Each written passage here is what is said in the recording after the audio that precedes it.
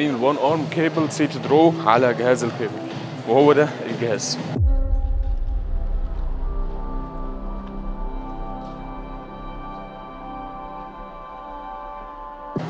هتروح هتلاقي الحتتين دول عشان تحط رجليك.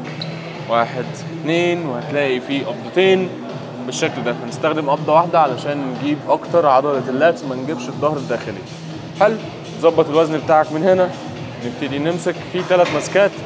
الماسكة اللي هي دي إيدك باصة لفوق والماسكة اللي هي دي كأنك بتلعب هامر والماسكة العادية اللي هي دي. طيب إحنا ممكن نمسك انهي؟ على حسب انت عايز تستهدف انهي عضلة. لو عايز تستهدف العضلة اللي تحت هتمسك كده. لو عايز تستهدف العضلة اللي فوق شوية هتمسك كده. عايز تستهدف الكتف الخلفي وبرده العضلات بتاعة الظهر من فوق هتمسك كده. خلينا نمسك الماسكة دي اللي هي ايدنا باصة لفوق نبتدي. قبل ما تطلع بالوزن أهم حاجة إن أنت تكون فارد ظهرك ورجليك متنية سنة صغيرة.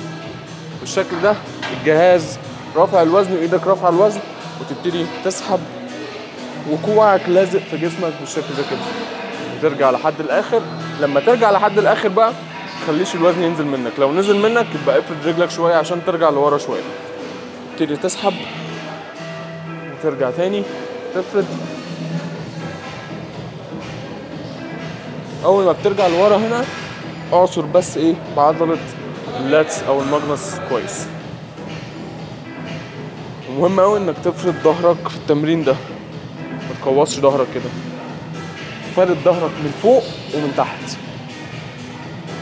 بعد ما بتخلص تدخل على الإيد التانية نفس العدات بنفس الوزن. ودايما نبدا بالإيد الضعيفة في التمرين ده علشان تقدر تجيب العدات اللي أنت ما بتعرفش تجيبها لما بتبدأ المجموعة التانية. إيدك الضعيفة يعني. نفس الكلام. نفسك في التمرين تاخده وأنت نازل بالوزن.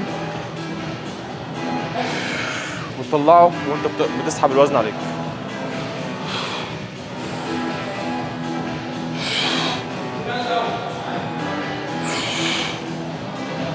بس كده. فانت عرفت تمرين ال one arm cable seated row تنسوش بقى تعملوا شارك like و share و subscribe للفيديو علشان غيرك يستفيد. اشوفكم الفيديو الجاي.